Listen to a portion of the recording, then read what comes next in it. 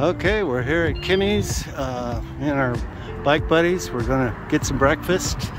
And uh, this is Kimmy's in Brea. It's off of Brea Boulevard. And we'll order something and give you a review. Good morning. I'm having the Irish Benedict, given that uh, Sunday is St. Patrick's Day.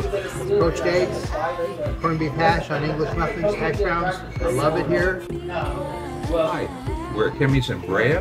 I'm having the uh, eggs Benedict with uh, potatoes and a bit of onion in there. Awesome Benedict. I give it a 5 out of 5. You won't go wrong if you order this. Trust me. Looks delicious. All right, guys, this is Kimmy's breakfast burrito. It's pretty good size. It looks like it's got uh, eggs, sausage, potato, a lot of cheese. Pretty good size. And I'll give it a taste test. All right, guys, here's the burrito. Look at the size of it. It's gigantic. I'm gonna taste it right now. Mm, pretty good. You can use a little salsa, but otherwise it's really good.